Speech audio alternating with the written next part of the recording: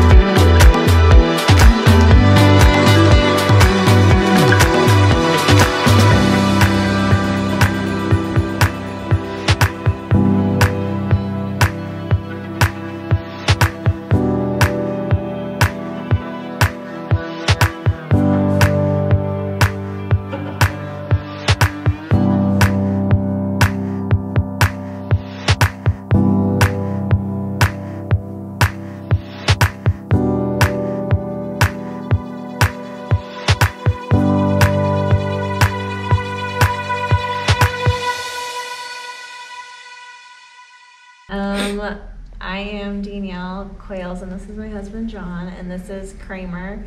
Um, he is almost 11 months old, Golden Doodle.